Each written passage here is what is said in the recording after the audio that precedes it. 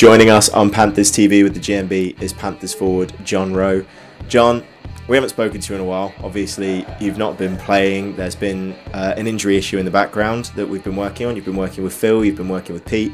Let's have a quick chat about it. Obviously, it's a, a lower body issue, we'll call it. And it's been a long process for you, hasn't it?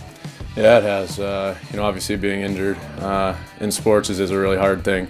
Um, but you know, I'm supported by the right people here. Uh, you know, you got Pete here at uh, Edwards Performance that's been doing a great job with me. Phil at the rink.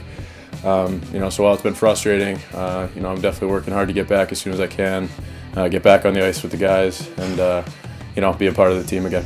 Now we've been filming you for this workout. It's looked uh, fairly intense, but it's definitely the face of somebody who's, I mean, working their ass off for their rehab.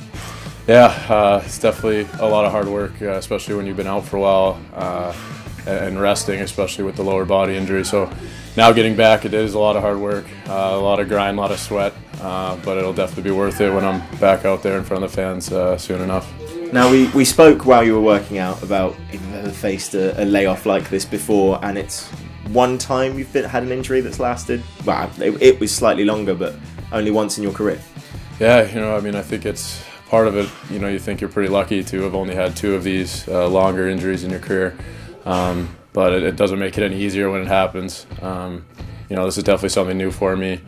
Uh, but it's it's a learning experience. You know, you definitely uh, these type of challenges make you stronger mentally and physically. So, um, you know, I, I, can only deal that or play the hand I was dealt, and that's what I have. So I'm uh, working my butt off to get back. Now you've not just been working your butt off in in the gym. Uh, you spoke mentally. you, you came on. You joined the Panthers and came part of the Loughborough program. How's that been going? School been at least keeping your mind occupied while you've not been able to play? Yeah, absolutely. Uh, you know, it's kind of things happen somewhat for a reason, and um, you know, while I've been injured, the school started last week. Um, so I was able to focus on that, and uh, it's, it's been a definitely going to be a challenge, but it's a great program they have at Loughborough, um, and I'm very honored and uh, to be a part of it. And I, I, know what will be at the end of this challenge will be very rewarding for myself to have uh, a degree from there. So. Um, yeah, it's been keeping me busy. Will continue to keep me busy, uh, but it's definitely an exciting and cool challenge. Now, probably the worst part of being uh, uh, unable to play and being sat on the sidelines is on game day, watching the guys, watching them play, watching them work.